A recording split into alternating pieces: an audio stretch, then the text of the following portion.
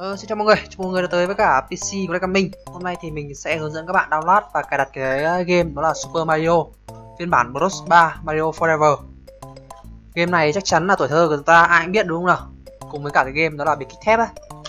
Enter, mình sẽ vào cái game cho các bạn coi nhá. Video một luôn.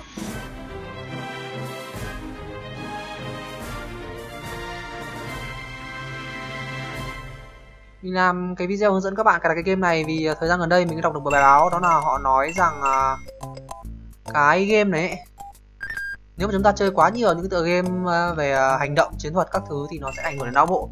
Và để cân bằng não bộ chúng ta bắt buộc phải chơi những cái tựa game tương tự như là Super Mario 3 ở đây. Thế nào? Nên hôm nay mình mới làm cái video hướng dẫn các bạn cài đặt cái game này. Mình sẽ vào cái phần game option đã nhá. Uh, âm nhạc mình tắt rồi sẽ exit và start game. Cho các bạn coi nhá. Câu chuyện giải cứu công chúa của Mario thì chắc chắn là ai cũng biết rồi, đúng không nào? Mình sẽ vào cái quốc 1 nhanh nhanh nhanh nhanh nhanh nhanh nhanh nhanh nhanh nhanh. Press jump button start. Đội đội đội đội. À nấm này. Whee. Qua mạn, qua mạn Đấy, ở đây có hòm bí mật này.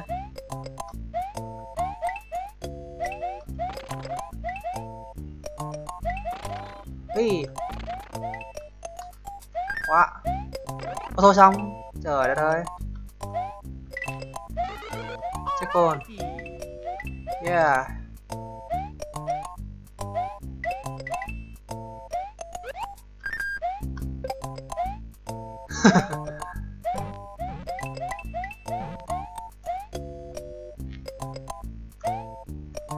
Sao lần nào mình nhảy chỉ được có 100 điểm mới nhỉ? Thế thế quá rồi ta. Khó hiểu thật đấy.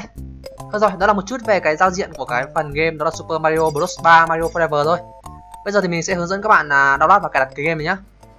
Đầu tiên các bạn hãy nhìn xuống cái phần mô tả bên dưới video của mình ạ. Mình có để file install của cái tựa game này. Các bạn hãy download nó về nhá. Sau khi download về thì các bạn chỉ cần chuột phải và nó chọn open thôi. Rất là đơn giản đúng không nào? Đợi một lúc nữa. Cho cái rồi nó chạy lên rồi đây. Bây giờ các bạn ấn nhanh nhá. Sau đó ở green này. Ở đây thì tích chọn vào cái phần Mario Forever Extension, rồi ấn next tiếp. Rồi các bạn à, ấn vào browser, chọn cái vị trí mà các bạn muốn lưu tựa game này lại. Thì sẽ lưu nó trong ổ E.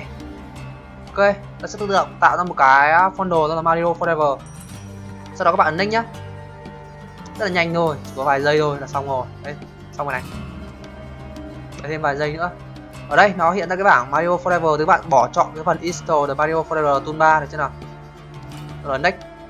Rồi đây các bạn ấn finish ok, xong rồi đấy, như vậy là các bạn đã hoàn thành cái việc đó là cài đặt cái tựa game Mario Forever rồi. Các bạn có thể vào và chơi game thoải mái rồi đấy.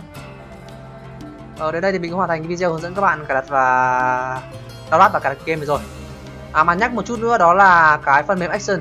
Mình đã có bản crack của phiên bản 2.6.1 các bạn hãy à, vào fanpage Facebook của mình để cập nhật cái video hướng dẫn cái gì nhỉ? Cái cái cái phần mềm action đấy nhá. Mình không đăng video lên YouTube được bởi vì sẽ bị uh, bị liên quan đến vấn đề bản quyền cho nên là mình sẽ đăng ở trên Facebook thôi. Các bạn hãy vào Facebook rồi share uh, ờ, group PC Crack Gaming để có thể là xem cái video hướng dẫn Crack Action nhá. Ờ, chào tạm biệt các bạn và hẹn gặp lại các bạn ở những cái video tiếp theo của mình.